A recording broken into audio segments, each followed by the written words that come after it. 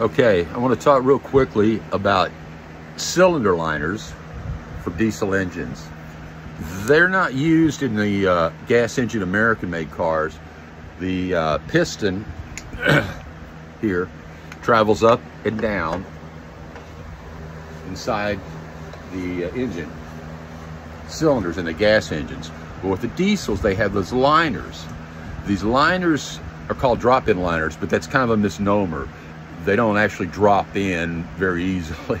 You have to force them out, and then you have to take a, um, a hone. This is a deglazing hone, and you can deglaze the inside of the cylinder wall of the uh, crankcase of the, of the engine block, and then drop the liner in.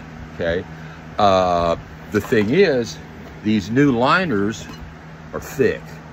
They have to be cut about a millimeter of, of steel has to be cut out of the center of them before the uh, piston will fit down inside there and travel, okay? Uh, they won't go in there no matter what you do.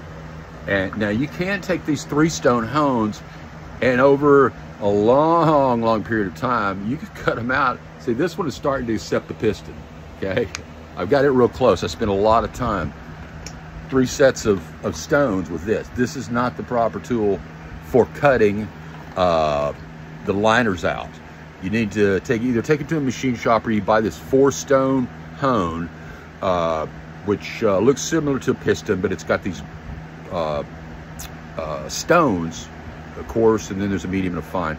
Then you run it up and down inside there, and it cuts the uh, it cuts the meat out of there or the steel relatively fast to accept the piston. So that's pretty much everything I know about drop-in liners